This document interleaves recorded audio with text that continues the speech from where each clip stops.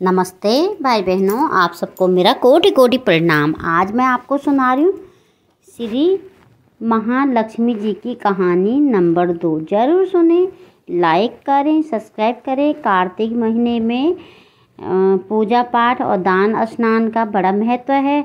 ज़रूर सुने लक्ष्मी जी की कहानी। आपके घर में भी लक्ष्मी माँ आएगी खुशी खुशी से वहीं रहेगी। बोलो लक्ष्मी माता की जय हो।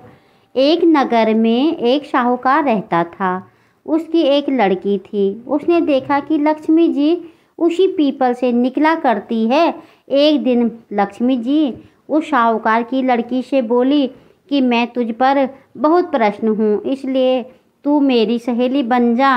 लड़की बोली, क्षमा कीजिए, मैं अपने माता पिता से पूछकर बतलाऊँगी। इसके बाद वह अपने घर अपने घर, इसके बाद वह अपने माता पिता की आज्ञा पाकर श्री लक्ष्मी जी की सहेली बन गई। श्री महालक्ष्मी जी उससे बड़ा प्रेम करती थी। बोलो लक्ष्मी माता की जय हो, बोलो लक्ष्मी माता की जय हो।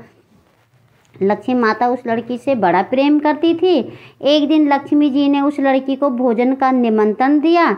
जब लड़की भोजन करने के लिए आई तो लक्ष्मी जी ने उसे सोने चांदी के बर्तनों में खाना खिलाया और सोने की चौकी पर बिठाया और उसे बहुमूल्य वस्त्र ओढ़ने को दिया। इसके बाद लक्ष्मी जी ने कहा कि मैं भी कल तुम्हारे यहाँ जीमने आऊँगी।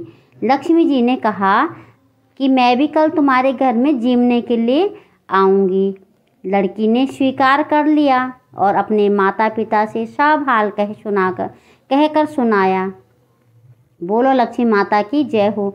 तो यह सुनकर उसके माता पिता बहुत खुश हुए। परंतु लड़की उदास होकर बैठ गई। कारण पूछने पर उसने अपने माता पिता को बताया कि लक्ष्मी जी का वैभव बहुत बड़ा है। मैं उन्हें कैसे संतुष्ट कर सकूँगी? उसके पिता ने कहा कि बेटी, गोबर से ज़मीन को लीप कर जैसा भी बन पड़े, रूखा सूखा श्रद्धा और प्रेम से खिला देना, यह बात पिता भी, यह बात पिता कहने भी कहने भी न पाया कि सहसा एक चील मंडराती हुई आई और किसी रानी का नौलखा हार वहीं पर डाल गई। यह देखकर साहूकार की लड़की बहुत प्रश्न हो, बहुत प्रश्न हो गई, बहुत खुश हो गई। उसने उस हार को थाली में डालकर अच्छे से ढक ढक कर रख दिया। जब तक श्री गणेश जी और लक्ष्मी जी वहाँ आए, जब तक लक्ष्मी जी और गणेश जी वहाँ आ गए, लड़की ने उन्हें सोने की चौकी पर बैठने को कहा। इस पर श्री महालक्ष्मी जी ने कि इस पर तो राजा रानी बैठते हैं।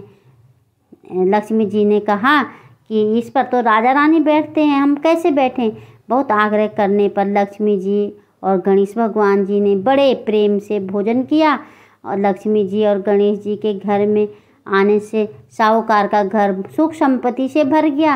हे लक्ष्मी जी, हे लक्ष्मी माता जिस प्रकार उस लड़की को दिया, उसी प्रकार के सभी घरों में सुख समृद्धि बना के रखना, सुख समृद्धि देना, खुशहाली देना। बोलो लक्ष्मी माता की जय हो, बोलो लक्ष्मी माता की जय हो। राधे रा